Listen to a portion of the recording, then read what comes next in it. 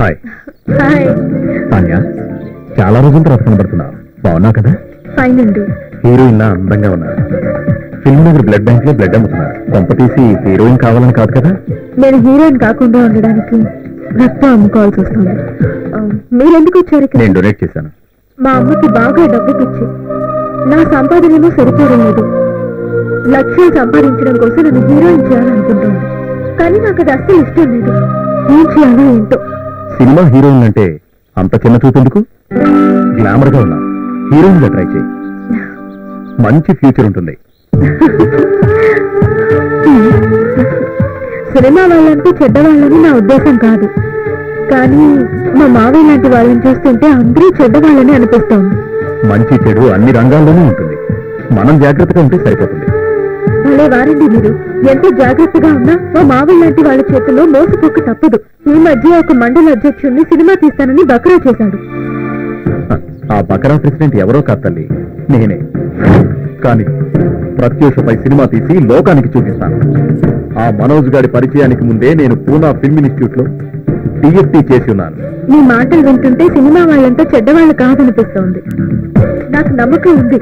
మీరు అనుకున్నది సాధిస్తారు ఫిల్మ్ ఫైనాన్స్ గురించి ట్రై చేస్తున్నాను ఓకే అవగానే మీరు కంపల్సరీగా యాక్ట్ చేస్తానని మాట ఇవ్వాలి ఇంతకాలం మా మావయ్యని చూసి ఎంతో భయపడేదాన్ని. నమస్కారం సార్. కానీ మిమ్మల్ని కలిసాక నా భావాన్ని మార్చుకోవాలనుకుంటున్నా. All the best thank you మీరు చేసే ప్రత్యూష సినిమా పెద్ద సక్సెస్ అవ్వాలని ఆ దేవుని కోరుకుంటాను. వెళ్దామా? పదండి. పిన్ని ఇదిగో.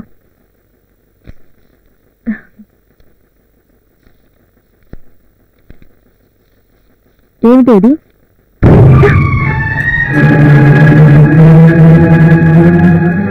ఎందుకు పనికొస్తుంది ఈ లిస్ట్ డబ్బు?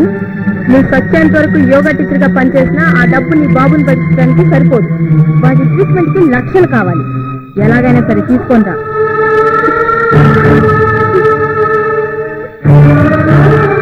ఈ వారంలో బాంబే ఫైనాన్సర్ వస్తున్నారు. నీ ఫోటో చూసి మట్టి పోగొట్టుకున్నారు. వెళ్ళు. వెళ్ళి హీరోయిన్ ఛాన్స్ కావాలని అడిగిరా. వెళ్ళు. వెళ్ళవే వెళ్ళి సెలెక్ట్ అయ్యి రాయ్ ముసడా లేదా నీ బాబుని వాతలు పెడతాం నిన్ను నా రౌడీ అన్నయ్యకి మూడో పెళ్ళాన్ని చేస్తా. జాగ్రత్త.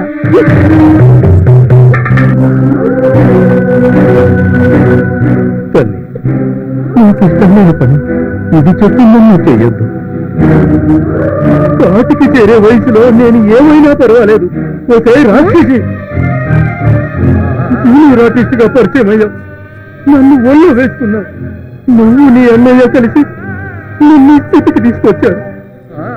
ఇప్పుడు నా కూతురు బతుకు కూడా నాశనం చేస్తున్నారు. మీరు బాగుపడరే మీరు బాగుపడరు. రే ముసలి పిల్లగా ఊరుకుంటే తెగ రెచ్చిపోతున్నావు. పత్తి కుండంగానే పూడ్చి పెడతా. ప్లీజ్ నాన్న ఏమనొద్దు నువ్వు చెప్పినట్టే వింటాను భగవంతుడా ఒక కంటి లేని బాష్పాల్ని కన్నీటి సముద్రాన్ని దాచావు. చదువుల సరస్వతిగా అందరి అభిమానాన్ని పొందుతున్న సమయంలోనే నా జీవితంలో పెను విషాదాన్ని నింపావు. ఇక నాకు చావే దిక్కు. ఆగు!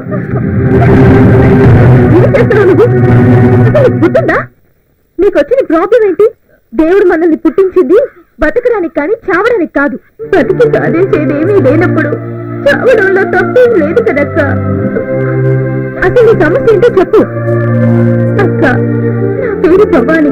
ఇన్స్టెట్ టాపర్ని కానీ దురదృష్టం నాకు దేవుడిచ్చిన వరాన్ని కూడా శాపంగా మార్చింది. EAMCET topper Bhavani? నువ్వేనా? అవునక్క. ఆ భవాని నేనే.